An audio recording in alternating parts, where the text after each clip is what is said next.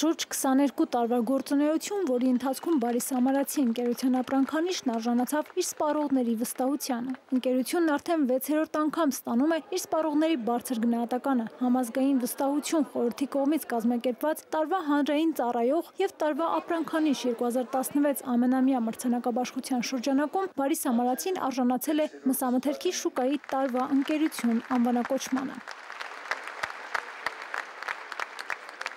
Ընկերությունը այս տարի ստանդարտացման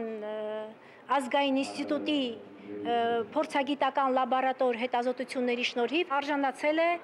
որակի նշանի։ Սա եւս խրախուսելի է Մրցանակաբաշխության հաղթող ապրանքանիշները որոշվել են հանրապետության ամբողջ տարածքում իրականացված սոցիոլոգիական հետազոտությունների եւ փորձագիտական գնահատականների արդյունքում։ Դժվար է իհարկե առաջի անգամը, բայց ավելի դժվար է դա պահպանել մրցակցային շուկայի պայմաններում։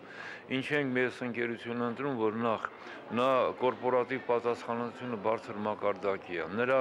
արտադրանքը որակյալ է եւ մատչելի է։ Մեր բոլոր շուկական հարցումներում նա զբաղեցնում առաջ երկրորդ տեղը, նայած թե որ կատեգորիայի ապրանքների մասին է խոսքը գնում։ Երկարամյա փորձ, ժամանակակից սարքավորումներ, բարձրորակ հումք ու բարեխիղճ աշխատանք։ Բարիս Ամարացին իր սպառողներին է ներկայանում ավելի քան 100 անուն երշիկեղենով, յուրաքանչյուր տարի համալրելով իր տեսականին բոլորովին նոր մթերքներով։ Շնորհակալ եմ ազգաբնակչությանը, նաև իմ կոլեկտիվին, որ նման, ասենք, այսօր հաղթանակներ ենք ունենում, դա պատահական չի